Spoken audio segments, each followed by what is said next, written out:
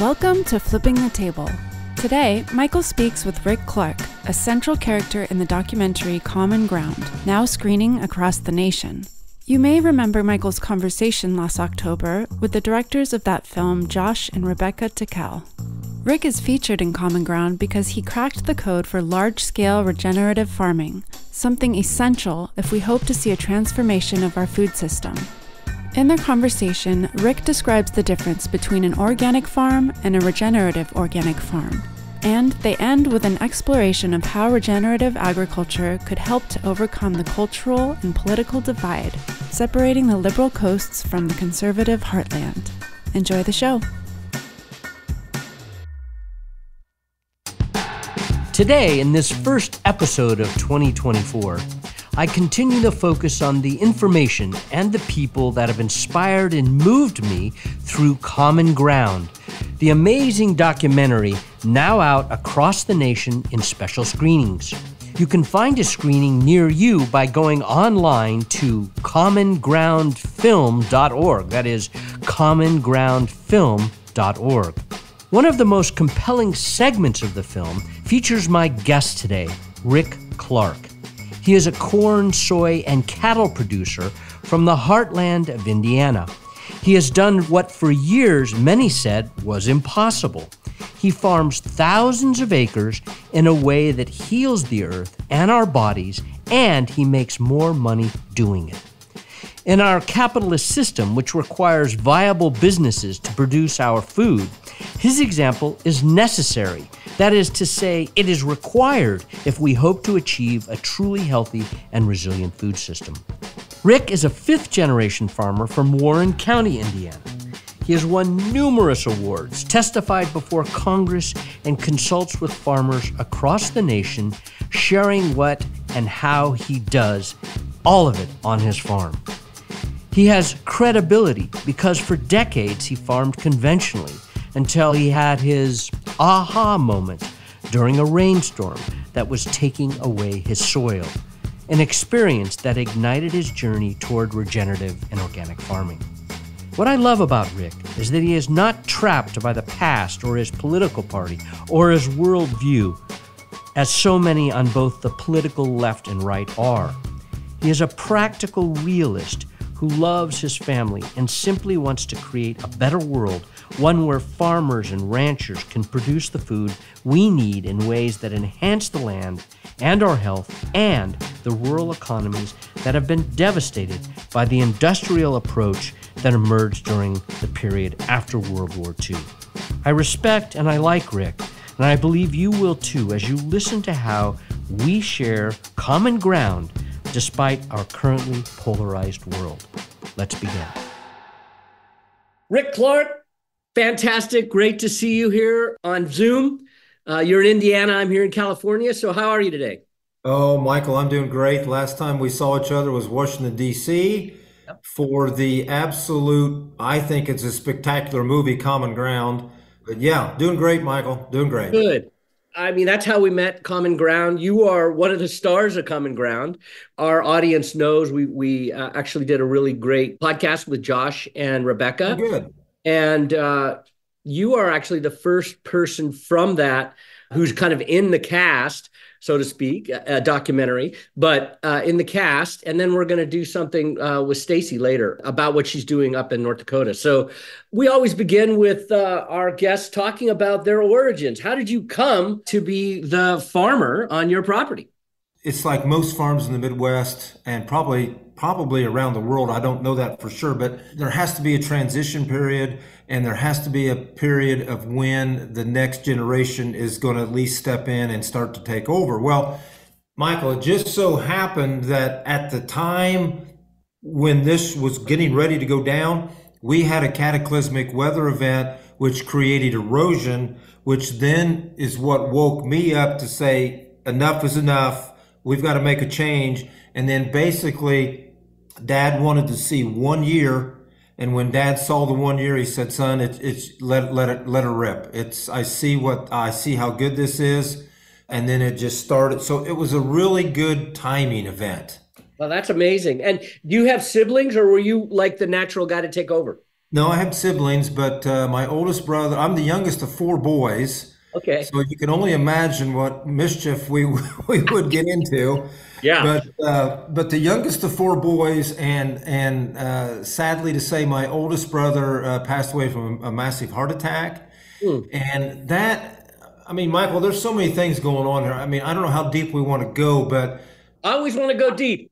I, I have always strived for soil health. Okay. But when you stop and look at your family and what grief you've had in your family, you start to look at this from a human health aspect. And I mean, I know people talk about human health as dense, uh, increasing the nutrient density. I, I totally agree. That's one half of it. The other half is protecting us, the people that are on this farm and eliminating these these caustic herbicides and pesticides. So that might right now where I am in my life, that's probably the biggest driver on the farm is maintaining human, health. human health. But I kind of got away from your question, but the the point here is it all was kind of happening as it needed to happen. Okay. So then I was the next my other two siblings are gone. So my oldest brother's is he's passed away. I'm there. I'm the only one left. So it was a natural fit. It's like everything I talk about when I when I when I speak in public. I, I think it's extremely important that if you're going to try something new, like like regenerative or whatever you want to call it, Mike, I don't I don't know what you even want to call it right at the at the beginning stages, but whatever that is, transition. You have to have success the first time you try something or you're not going to come back. And I couldn't tell Michael, I couldn't the, the amount of success we had on the first the first swing at this was knocked it out of the park. That's what really got me hooked and, and got me so entrenched in how do I get the farm there as fast as we can, but yet not wreck it and and and drive us into bankruptcy. Yeah, that's interesting. And Will Harris down at uh, uh, White Oak Pastures had a yeah. little bit different. I mean, he family transition again, but he, it was hard for him. He had a hard time doing it. Yeah, one of the things that really struck me about your story in the film is how successful it was and how how uh, the timing worked so beautifully and also the fact that your wife talked about the health problems. I mean, her family there was cancer, she had cancer. Those things have, were all in the mix. It seems to awaken you to another approach or open you to pursuing another approach. When you leave the world of of mass destruction to the soil, high fertility, high inputs, blah, you know, all this stacked up and the ultimate goal here is yield. Okay, that's what the farmers are working toward is we've got to maximize yield. Well, when you step out of that arena and start to understand that there is more to this than yield, it's more about being a good steward to the land, it's about being conservation minded, it's about building soil health, human health, all of these things, you no longer worry about yield. At least I don't and this becomes that just happens. That just happens. It happens, and then and you know, Michael, it's the same thing. I don't care. There's got to be a term for this, but it's the same old thing. Once you get a feel for this, everybody says the same thing. Why didn't I do this ten years ago? It's always the same response. Mm-hmm. So we need to understand and figure out how to move this message to the masses to the folks that don't quite understand. They drive by one of our fields and they're, and they're just saying, what is this crazy guy up to? What's going on out here? And it's just so different. So, yeah, we're going to um, get to that. I want to get to that question about yeah. how. Before we do that, though, I want people to understand how you're farming. You have Clark Land and Cattle Company, so it, it talks about cattle too. So I'm interested in the relationship to animals and the yeah. cropping systems you do you do a beautiful job in the film of describing how you farm. Some people may not see the film, so I want them to hear from yeah. you what you're doing about the size of your farm, because that's the other big thing. In the minds of many, you are a very large farmer and you were yeah. able to make this transition. I'm not built like that, but but when people people say, Rick, when you when you give a presentation, you've got to to quantify the amount of acres. And uh, the amount of acres you farm. And I'm like, I don't, I don't want, I don't like doing. But they're like, no, you don't understand. The, the the acres that you farm makes it like, whoa, wait a minute. You mean we're not just doing this on a one acre plot? you're doing this on on almost 7,000 acres. So I understand that. I don't that's like bragging, but I don't think it's bragging because it's more of of explaining the journey. And I get that. You got the and the possibility. It, it, points to the possibility. Yeah. What could happen. Yeah, and I get it. So let's go back to that to that timing of when the yeah. the farm was changing uh, leadership, let's call it. Was that 10 or 12 years ago? That was about uh, that was 16 years ago. 16 years ago. Okay. Okay. We had we had done our normal procedures for farming, which was tillage, tillage, tillage, and more tillage. And then we were ready to plant corn in the spring of 07, and we had a one inch rain event on a 1% slope field. So, Michael, this is like looking at your tabletop. I mean, you couldn't tell zero from 1% if you were standing in the field. That's how minimal this is. And we had a one inch rain event, and the soil moved from the field to the ditch to the road. And I'm like, no, this this is it. This is we're done that we're not doing this anymore. So I started researching. I came up with my best guess because I didn't have a lot of people to talk to. So we went with one species, which I'll just tell you what it was. It was a tillage radish. And I went with a tillage radish for many reasons. And here they are. It has a very deep taproot, four or five feet deep goes into the profile. So that's going to help mitigate compaction.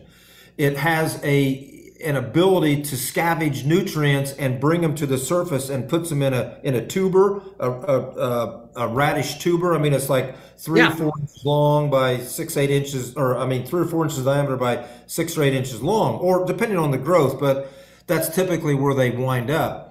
And then all these nutrients that they've sequestered are stored in this tuber, and then it dies and releases them all back into the profile. Okay. The other important thing here is it winter kills. So there's nothing for us to worry about next spring. So we took a field and, and I hope, I hope anybody that's listening, I, I hope I can get this. This is the way I think it should be done. Took a 200 acre field and we cut it in half. So whatever, I don't know if you got a 40 or a 20 or whatever, cut it in half, try it this way and half of it this way and half of it your old, the way you're currently doing it and then do not look at the yield at the end of the year. Look at the return on your investment at the end of the year because we're already saving money on tillage. Mm-hmm. So I think in the movie, I think this this scene made it. But uh, uh, not only was it the best yielding cornfield we had, but it was the best ROI we had. Yeah, you're driving by the field, looking at it when you yeah. say that. Yeah. I mean, Michael, I'm in. I mean, what what can we do now? What how do we how do we move? and not jeopardize the farm here. So, i and I don't know why these things happen. I can't explain. I just got a notion one day that we need to start testing these cover crops and see what nutrients are in the above ground material.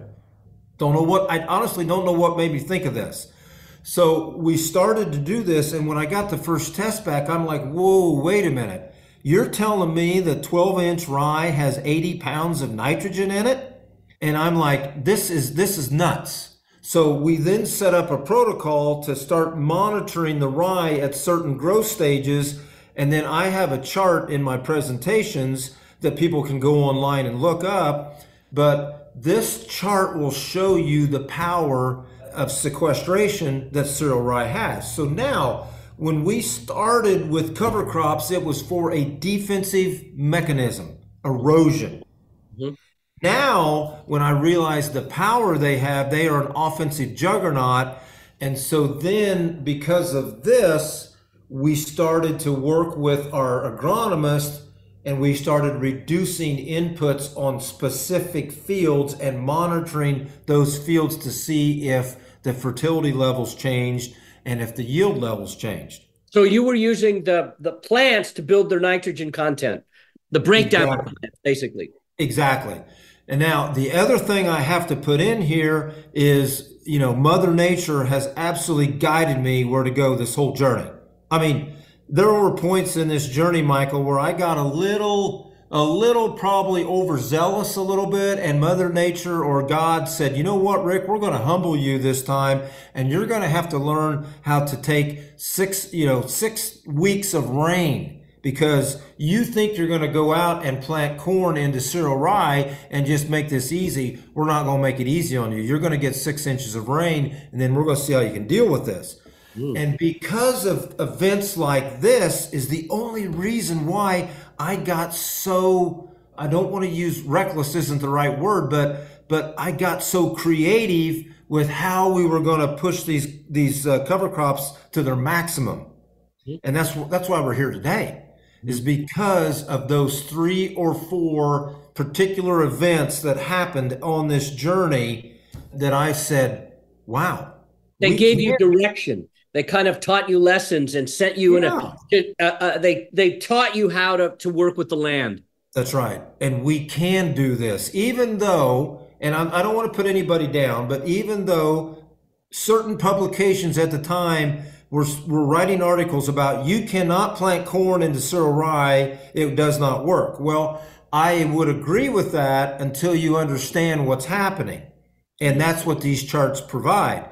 Once you understand that the cereal rye is sequestering all of the nutrients that are available, and you now need to move nitrogen into the front part of your program, not the middle or back, then you can overcome what this rye is doing. Now, I do agree. I think there is an allelopathy taking place here, but I think the greater obstacle is the fact that the rye will sequester so many nutrients. I mean, Michael, when you get to almost mature rye, you're pushing upwards of 150 pounds of nitrogen is in that above ground material. That's a lot of nitrogen. And so then if you if you agree with what I'm saying and you buy into it, now let me tell you the other half of the equation here. If you come to our farm in the spring, you're not going to see very many broadleaf weeds because of the same thing that's happening what I just described. Yeah. The rye is sequestering those nutrients and storing them, and that young little giant ragweed or, or water hemp or whatever that weed is has germinated. And now not only is the rye sequestering nutrients, but it's now growing and taking the sunlight and shading the ground. That weed is over. It germinates, grows two inches, and dies. Mm-hmm. So that, that it's so imperative that we figure out a way to teach people to to implement these cover crops because right now if you you know follow me my timeline here michael. So we've planted we've got the cover crop growing in spring we're going into it in April. We're no-tilling beans in. We're rolling this down in June, and it's now July 19th, and the beans are this tall, and there's been no reason to spray any chemicals up to this point. That's amazing. So, and people should just understand because in the film, it's clear because you show the machine that you roll yeah. with, you show how you drill the seed in, but tell people about those two things because they're not yeah. seeing. Yeah. So what? Okay. So let me back up here. So I opened up a magazine and I saw this this ad for an event that's going down in University of Wisconsin at Madison, okay? And it's being put on by a professor, her name's Dr. Erin Silva. This is what the headline said. Come to Madison, Wisconsin and learn how to plant beans into cereal rye at boot stage and four weeks later roll it all down with a roller crimper. And I said, you're going to do what? And so I got in my car and I drove to Madison, Wisconsin, and there were about 30 other farmers there. And Erin taught us how to plant soybeans into cereal rye at a growth stage called boot stage. Mm-hmm. Okay, so let's back up. So in the previous fall, we've harvested a corn crop, let's say. The corn's off. We come in with our no-till drill and we drilled 100 pounds of Elbon cereal rye. And if we had enough time in the growing seed, season, you're talking about the seed gets drilled into the ground. Okay. Yeah, the seed is called Elbon cereal rye. There's many varieties, but we just use Elbon. And if you have time in the fall for diversity, you've got to get it into your cocktail at that point. But if you don't have time, then you just plant a, a, a monoculture of, of cereal rye.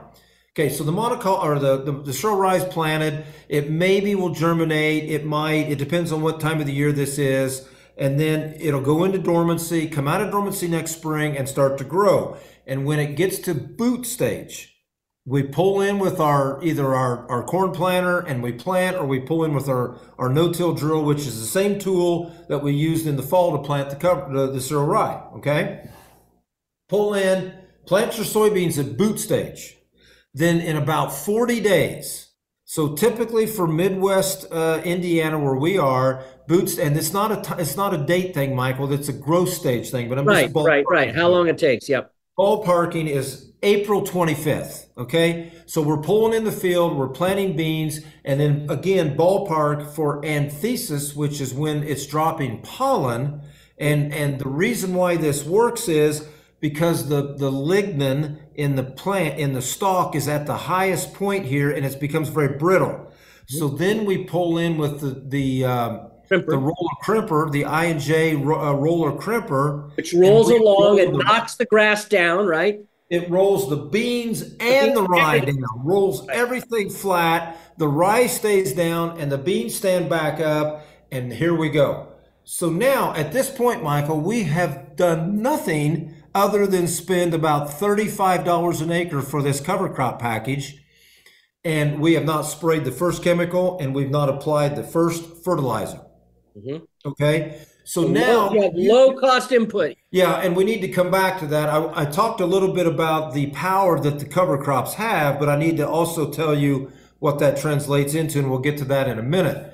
So now it's it's June whatever, whatever June 25th to to uh, July 2nd. Okay, you've got a time period here where now your beans are probably about this tall, maybe a little taller. So depending on if you uh, if you rowed them in, in 20 inch rows or 30 inch rows, or did you put them in seven and a half inch rows?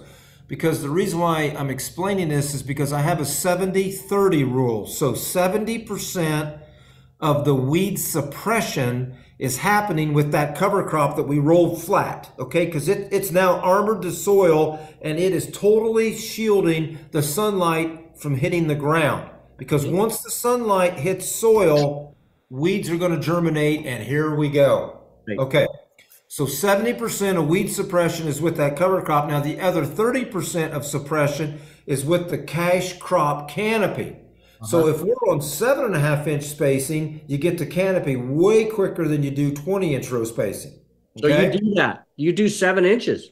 Yeah, we'll we'll do seven, we'll do 20. Those are our two our two distances, okay? So now, like I said, it's it's July 1st approximately, and we've spent no money and we have sprayed no chemicals to get us to July 1st. Mm-hmm. Now, I often say, or no, I always say, and I'll even I'm going to say it here on your podcast, Michael. I never force the way we farm down anybody's throat. That's not what I'm about. I am about teaching you ways of our journey that hopefully you can take one or two or three of our concepts, take them home to your farm, start implementing them on your farm until you get comfortable, and then you decide how far you want to take it. So I'm way over here where I've taken everything away. And the rest of the world is way over here that's that's that's either getting started or has done nothing. There's somewhere where we can meet right here in the middle and figure out how to start being so dependent on synthetic inputs. Mm-hmm. Yeah. So that's what my goal is, is to get people to get away from doing nothing and start doing something. Now, if you want to come all the way and take it all the way, I'll be more than happy to help, show you. I'm totally transparent with everything we do on this farm. And it's it's a very, I'm going to you, Michael, this is hard. Yeah, you're organic, and what you're saying is that there's a conventional world out there that what what we would call conventional production agriculture, and you're trying to get them to start a journey to kind of just get in the middle, so they have the comfort of those tools that they know well that make them feel safe, protect them in a certain way. Um, But you're willing to go all the way with someone if they want to make that big jump. That's right. Yeah, I, I, I think this is very important. I think we've got to go easy here because we cannot jeopardize the livelihood of the farm. You, we cannot implement something that's going to say, "Oh, wow, it was a- whatever Rick suggested. It was a it was a bomb on the whole farm, and I'm out of business now." No, that is what we cannot have happen here. Right, I get it. Totally get it. So now in your operation, you get it all the way to harvest. Yeah. Yeah, it depends. So, in that scenario that I laid out to you right then, we have rolled this cereal grain down and it's no longer a viable prop crop for us, okay? It is merely a cover crop now that's suppressing weeds. That's all it's doing. Now, we do have situations where we will not roll that crop down and we will let the beans or the peas grow with that cereal grain because I want the synergy of what those two crops do for each other and they grow all the way to maturity and then we harvest the two together and then we separate them at, at, at the farm with the cleaner. And we're actually doing that right now at the farm. The guys have got the cleaner going, and we are separating wheat and rye from soybeans. How interesting. I've never heard of that. Yeah. So I'm a huge believer of diversity. Diversity yeah. is probably your number one advantage that we can have to be successful here. So when I look at diversity, uh, too many times people look at diversity as just being you know, you used to use one or two species in your cover crop. Let's go up to six or seven. Well, I don't disagree. That's diversity. But there's other ways to look at it. How about cash crop commingling to become that? That is fascinating. And yeah. one of the arguments I always hear is that, oh, you can't go from monocropping to this diverse thing because you can't put these crops together, but you're in fact doing it. You can. You can. As a matter of fact, you could put milo with soybeans. You could put corn with soybeans. Uh, you could put faba beans with corn. I mean, there's all kinds of ways to look at this that, and if I if I really sat down and thought about it, we could probably come up with four or five other combinations. This is the future, Michael. I, these monocultures are not going to succeed, and right. we have to also think about the cover crop as being a monoculture. Like when I told you earlier that we're going out and planting 100 pounds of Elbon rye, that's not desirable, Michael, because that's a monoculture. Yeah, I get it. So if you have time in the fall to plant a cold, I mean, a, a species that will winter kill, like a cowpeas or a radish or sorghum Sudan or sunflower, these species will winter kill. If you've got time in the fall to add those to that 100 pounds of Elbon rye, then they all grow together. Those four or five die off, and, the, and all you're left with next spring is the rye. Mm-hmm. That's where we've got to get to. We hope you are enjoying the conversation. If you are, please rate our podcast and offer a review. Your voice will help us grow our listener base, which helps us sustain the funding to share these conversations with the people and organizations shaping a more just and regenerative future. A future in which the food and farm businesses are helping to solve the largest challenges of our time I want to ask you a little bit about animals. Do you bring animals in in between crops in a rotation? We do, but I'll be I'll be brutally honest, Michael. We do not have enough people on the farm right now. I need help. I need and I need more animals. But yes, where where we have infrastructure, so meaning where we have fence built and where we have water, right. we we will bring cattle in. And and I'm going to tell you right now, sometimes the best cattle to have are not yours. There's somebody in your area that you go talk to them and you say, "Hey, Bob, you know what? I got a 200 acre field here. Let's bring. Can I can I bring 100 of your replacement heifers in and let, we're going to rotationally graze them across. And in 60 days, you'll have them back, and you pay me either a daily fee or a rate of gain." And Bob says, "You know what? That'd be awesome. Let's do it." So we're benefiting Bob and we're benefiting the farm. And That's great. That's beautiful. Do you yeah. think there uh, are people talking about that approach? Yeah, are you yeah. And I think the biggest, the number one biggest place to go are either feedlots or dairies. I think like all these replacement heifers that are coming back to the dairy, bring them to a regenerative home. Let them let them grow you know they're they're going to be weaned off. Let's say they're they're six or seven months old or eight months old. They've been weaned, so now they've been, they're established. Now you bring them to your farm, you run them for 60 days, and you hand them back in. And now they've got a healthy cow that's put on I don't know a pound and a half or two pounds a day, a rate of gain, and and they're almost a mama cow now, ready to come into the milking herd. So Exciting. that's how that's how I like to look at it yeah, well, you know, um, I just want to say that it's beautiful the way you're describing how you can diversify the actual cash crop. You can you can integrate animals, and there's a system that needs to develop further. It's it's yeah. just in the emergent stage where you are, and that's really important that it's starting and that you can see a pathway. I just want to talk about one of the things that really comes out in the film is that this has been profitable for you. You've actually yeah. made more money moving into this world versus the old world. Yeah. and I'm going to answer this in kind of a long-winded answer, but I want to go back okay. to the cover crops, okay? And then I'm going to build up to your to your question. I talked about how when we started, the cover crops were viewed as defense. Mm-hmm. Then once we got into it and we started testing, we identified how powerful the cover crops are. For bringing so, nutrients to the soil. Yeah, you were this is my definition of regenerating. I mean, we are pulling nutrients from deep within the profile back to the surface through the plants. The plants are terminated, the microbes consume the plants and regenerate those nutrients back into the profile. Right. This, to me, this is perfect. This right. is what it's about. It's a circle like that. Okay. So then I said to my agronomist, I said, you know, these cover crops are powerful. And I've only talked, and Michael, we've only talked about uh, cereal grains. We haven't talked about legumes yet. But anyway, these cover crops are powerful. Here's what I want to do. I want you to give me the farm's recommendation for fertility. Okay, because we're this is the game we're still in. This is way back at the beginning here, Michael. So I want you to give me the recommendations for the fertility plan for the farm.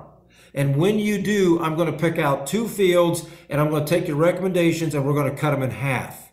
And then we're going to farm the same way we've been farming, except we've now got cover crops on these two fields. Okay? We go through the season, raise our crops, harvest the crops. The yield's exactly the same. We, we pull a soil sample, and I, I got to back up, I forgot we baselined our farm. So before we started this, we pulled soil samples on every acre and we baselined the farm. Okay? Because you got to know if what you're doing is right or not. Right. So then we went through the first year of 50% reduction and yields were the same. We pulled another soil test and guess what? Fertility was the same.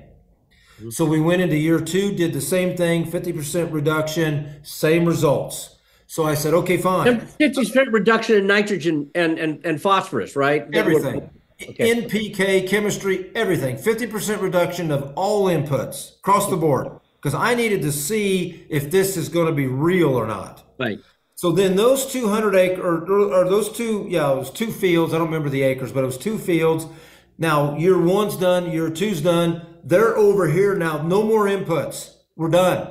Those are gone we now pull 500 acres in and do the same thing. Give me your give me your your recommendation, 50% reduction. I did it for one year. I saw no yield change. If, if anything, we might have seen a yield increase, and we saw no fertility changes in soil test. I'm done. What, I, what's your agronomist saying when he's seeing the results? Is he like, Jesus, what have I been telling people to do?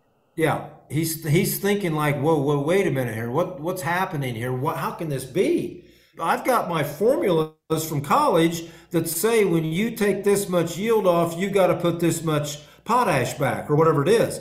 And we were not seeing that. We were seeing that levels were staying the same. There's two choices here. The first choice is what a lot of naysayers want to say is, well, Rick, you're living off of the fertility bank that your ancestors put out there for you. Okay. Maybe. I don't know. I don't have enough information yet to say yes or no. Number two is the cover crops are really doing something here that we haven't realized. So I'm going to go with the cover crop notion. Mm-hmm. So now, Michael, we've completed the third year of this. And to some people, this may not sound like a good enough trial, but I had I had three parts that were repeat. And I said, I'm done. We're now going to take the whole farm and start reducing inputs all the way down as far as we can. So you your theory was proved enough for you to to bet the farm. Yeah, that's right. That's exactly right. Calculated risk is what I like right. to call that. Right. So now when you start to pull the inputs away, and you remember earlier I talked about how yield isn't even part of this thinking process, and it's not anymore. Now your brain is thinking, how far can we take this and be a farmer with Z, with no inputs? How far can we go? Can we go 30%, 40%, 50%? I you know, I don't know, but here's where I've got to caution the audience. Context is extremely important here. Where are you in the world? Okay? The soils in Arizona and New Mexico are way more fragile than they are in Midwest. Okay? Right. Can we expect the soils in, in Arizona and New Mexico to totally eliminate inputs? Probably not. Right. But we can sure do a massive reduction of probably 40 or 50 percent. Mm-hmm. And just that's huge. If we were just if we could across the board reduce synthetic fertilizer by 50 percent, Michael, that would be huge to the to the farmer's pocketbook. Huge. Right. And also uh, be a lot less uh, natural gas burned to create that nitrogen. That's right and less runoff into the creeks yep. and streams. Right. The algae bloom maybe starts getting smaller in the Gulf of Mexico instead of bigger. Right. I mean, I just read an article the other day from the Chesapeake. They have now seen that the the uh, algae bloom in the bay is actually shrinking now. It may have may have said that it was uh, almost gone now that I think about the article because it's been shrinking. It may actually almost be gone now. Good. So it's proven that not only can the farmers be profitable in doing this, but we can now save the natural resources. Yep, that's beautiful. So all that less input got you because I want to switch the topic here soon to talking about regenerative agriculture and uh, the future of the country in a certain way. So let's get to the end of the story about your full transition and the fact that you are now kind of living proof that this is a profitable thing to do. Yeah. Let me tell you when the farm was absolutely maximizing return on investment. Okay. This is the this is the scenario right here. And again, folks, I'm from Midwest Indiana. Uh, most people know where Champaign, Illinois is. Come right across from Champaign, Illinois in the state line. I'm right there. So context is important here. So this is where we were knocking it out of the park. We were 100% cover crop. 100% no-till, 100% non-GMO, and we were 70% reduction of inputs. So we were not organic yet, okay? That's the scenario that we were. We were actually increasing yield every year on both corn and beans, and we were down to a 70% reduction of inputs. So we were becoming extremely profitable. And what year, how long did it take you to get to that? You said you started in 2007. When did you get to there? That got we got to there like in uh, 13 or 14. Mm-hmm. Okay. Took okay. you 16 years. Okay. Yeah. And when we got to that point, we were the most profitable per acre we've ever been. I mean, Michael, some of our some of our percentage of, of ROI gains were 100%, some of them. A lot of them were in the 30s and 40% gains of, of, of profitability. Okay. That's incredible. Yeah, it's incredible. So then I've already told, I've got this all out of whack, but it's okay. Then I had the conference that I went to in Michigan or in Wisconsin, and Dr. Erin Silva taught me how to do, and me and other farmers taught me how to do farming with a roller crimper. Then when we started doing that, Michael, then I said, why aren't we organic? Because we have now eliminated uh, all chemistry in soybean production. We took it all away. So that's when I got the, the courage because that roller crimper was the segue into organic no-till farming. I got to stress that here. Yeah. There's a lot of organic farms out there that are high tillage yeah. and they're not building soil health. Right. We are trying to do this with no tillage, organic, all cover crop and scale. That so that's an important thing you said there because that you know, people argue about regenerative versus organic. Oh, organic is better. Why? Why are we doing regenerative? Well, you just explained. Sometimes organic agriculture is actually not doing That's what right. you're saying. Right? That's right. I mean, we have to know what the principles of soil health are. Number one is min- minimize disturbance. And that means two things disturbance of chemistry and disturbance of tillage. Right. We have to stop tillage to let the microbial biome build itself up and maximize what it's doing for your system. We're done. We no more no more seed treatments, no more I mean this is 9 years ago. No more seed treatments, no more uh insecticides, no pesticides. pesticides, no more chemistry, no more P, no more K. Nine, I mean, going in in just a few weeks here, we're going to be in 24, and I can safely say 10 years now. We've not done any of these things. And uh, is our system perfect? No way. And if I ever tell you that it is perfect, uh, slap me across the face because nothing is ever perfect. You should right. always be in the mindset that you need to make it better than it is currently. And then you just keep trying to improve the system that you have. the weather. You never know what's going to happen. You never know what. So you're kind of like riding the big waves as a surfer, yeah. trying to get you know the system to to stay in balance and work. And that's another point that I'd like to bring up. Thank you for reminding this. When you work, when you farm the way we're trying to do it, Michael, we don't have all those dollars that you have to borrow at the bank. They're not at risk yet because nothing's put out there. Where the conventional farmer, they've gone to the bank, they've borrowed, I don't know, $800, $900 an acre, and all that money, and sometimes it'd be more than that. Uh, if you put in a corn crop with high cash rate, you're going to get to $1,400 an acre of an investment that you probably had to borrow that money, and that money is totally at risk by June the 1st. So now you are totally dependent on Mother Nature and what weather is she going to deal you the rest of the growing season. And to right me, now, with all the the chaos in the weather, it's scary. That's risky. That that is high risk, and that's what we want to avoid. In the film, there are a lot of really great stories, but the story yeah. that I felt was most compelling that could could really transform the situation in the United States was your story because it was scale and it was a journey that you took and uh, you're in the heart of really conventional agriculture is the way we think about it commodity agriculture you're in the heart of it and right. you made this transition successfully and now you're out talking to others about it. And when you and i met one of the questions that came up in the after the talk afterwards after we showed the film screened the film in, in dc an audience conversation. You were sitting in the front row because you had done the night before on the panel. Mm-hmm. and this question about the country came up and about the po- politics of the country. And you made a really good statement about the need to get the politicians to basically work together.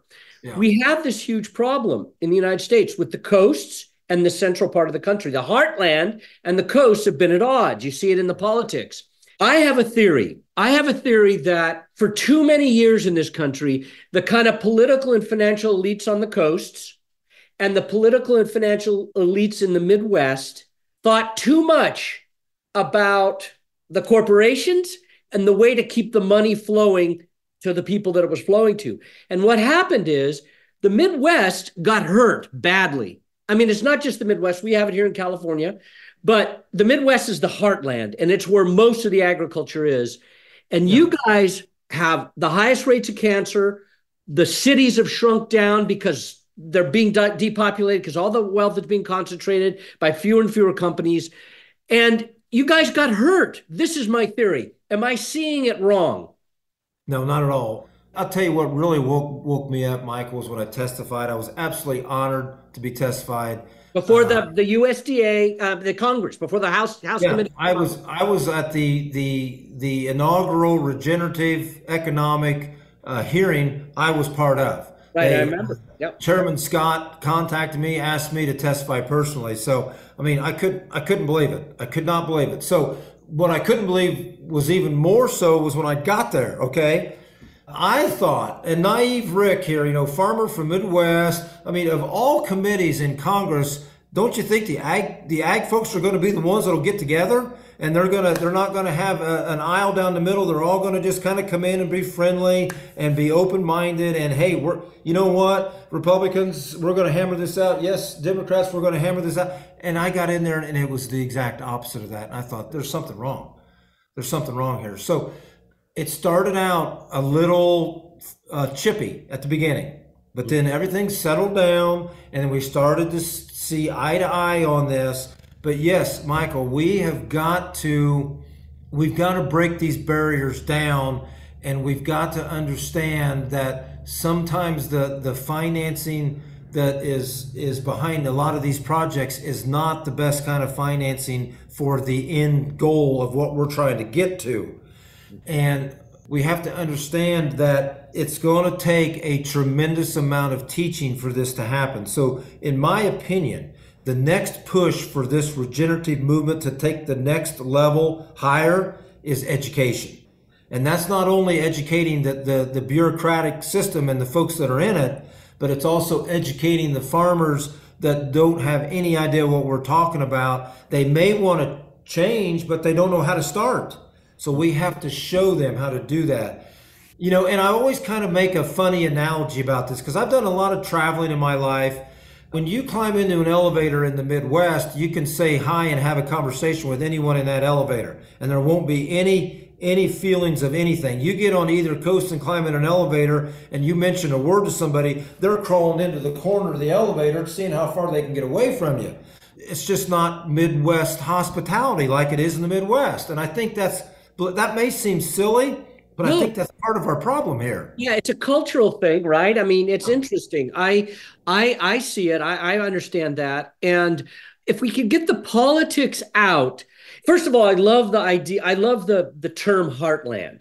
Mm-hmm. I think it's a beautiful term. Yeah. And it is the heartland of the country. And there's so much history. You know, it's it's it's rich and it's also where we've gotten so much of the wealth of the country from the Midwest, but a lot of that wealth is transferred to New York City and LA and San Francisco and Chicago, and it's not really in those communities anymore. It's like the Central Valley of California. When I was a kid, it was beautiful and all the towns were healthy. Now they're freaking ghost towns, basically. yeah. They've all shrunk down to these little things because all the money's getting taken out. And yeah. I think what you're doing, you are demonstrated that you can keep the wealth in your property. You don't have to send it to a chemical company or a seed company. Well, you have to buy seed. You don't have to send it to no. chemical companies. No, buy seed. Buy the machinery. You go through a transition, and then you're keeping the wealth. Yeah, I, I totally agree. Totally agree. The money is staying in, and not only is it staying within our farm, but we're also we also pump it back into our local communities. So it's just a win-win-win. I mean, it's just I really am proud of this this common ground movie. Not that not that we're in it. That's not why I'm saying this. I mean, Michael, when you, you go to a premiere and you look around the audience, what's the age? You see a lot of 20 somethings in that audience. And everywhere I've been, the 20 somethings are in the front row and they're the first ones to raise their hand and ask a question to the Q&A panel. That is exciting to me. Yeah, in That's, DC it happened. It happened in DC. African American yeah. girl got up who was uh, working at, wanted to be a farmer. That was fantastic. Is that's exciting. That to me, and then you like the word heartland, which I do too, and you're going to like this word also. This is a grassroots movement, and that's what this is. Yep, yeah. So it is. It is exciting, and I would love to get a group of people from your community to communicate with a group of people from my community and mm-hmm. have like a larger Zoom conference yeah. and talk about what we actually have in common, not the things that separate us. Yeah. Well, I'm very fortunate. I've done a lot of consulting and I actually was on, it was a year ago, I had about 50 farmers from the uh, Central Valley on and and we had a consultation of, with 50 guys. And I'm going to tell you right, I'll just go ahead and say it all. It was uh, Jeff Mitchell at UC Davis, uh-huh. and he's the one who put it together. So you got to give. I mean, that takes courage, and that right there. I mean, Jeff is extension, so he's outreaching through the extension, and we had 50 farmers on. And uh, you know, did we do some good? I think we did some, but there's a long way to go in Central Valley, and and everything there is dependent on water. Right. And the water's running out. Right.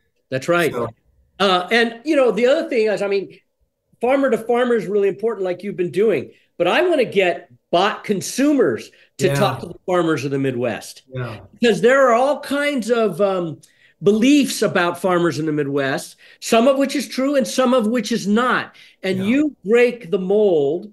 And it's really, I, I really want to do this. I want to get some people to talk to you who are like consumers and investors and and activists and um, environmentalists. Hey, the weather's pretty nice in, in Los Angeles or the California. Just I'll come out, okay? yeah. Okay, good. We'll work on that. Um, yeah, you, yeah. Next year you should come to Eco Farm. I don't know. Are you not coming this year? I'll bet. Uh, no, conference. I, no, I, I won't. No, not this year. Okay, but next year I think it would be great for you to come to that and be one of the keynotes. Yeah. Great yeah, when, to do that. When is that, Michael? It's the third week of January. Yeah, we can make that work. Yeah. Mm-hmm. So anyway, the one thing I, I do want to say that I heard from you that was interesting, it took you basically 10 years to get to a place. It was signed, sealed, delivered. You were on the road. Yeah. And uh, and then you started to really spread the word, the, the good word in a, in a way. So when we look at the future, let's say the United States government decided to really put out the resources to make the teaching happen that you think needs to happen.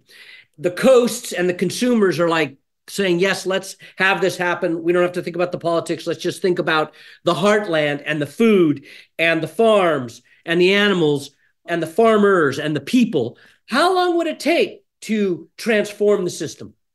You're going to see change happen immediately, but the kind of change that we need to see to start pulling inputs away, three years. Uh-huh.